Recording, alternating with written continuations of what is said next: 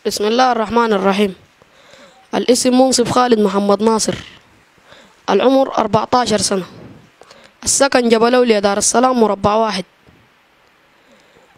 جينا أن إحنا ثلاثة أنفار من جبل أولياء. معايا أخواني اتنين وأنا تالتهم جينا نزلنا في الصينية المركزي. لقتنا قوات الدعم السريع المتمردة سألونا قال لنا جايين من وين؟ قلنا والله جايين من جبل أولياء. يا أخواني الكبار قال لهم أنتوا جايين بتاع استخبارات ده انت شيلوا معلومات من ال من الصينية هنا مننا نحن. قلنا والله نحن مواطنين. خلاص سألونا قالوا بعرف بسوق فيكم منه. قلنا- أخواني قالوا أنا بعرف بسوق.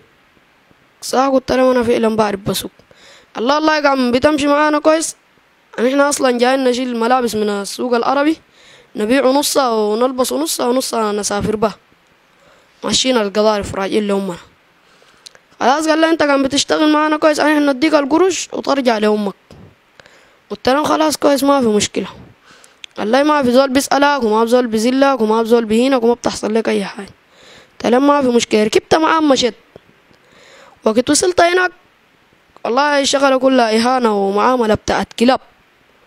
يعني معاملة الكلاب خير منها ك- كلبشوني أنا ذاتي كلبشوني مع الدركسون وقت النوم يجيب كلبشوني مع الدركسون وقت الفطور مرات يقولوا لنا في الأكل ادونا له مرات يدونا له مرات ما يدونا زادو يحمونا من الموية.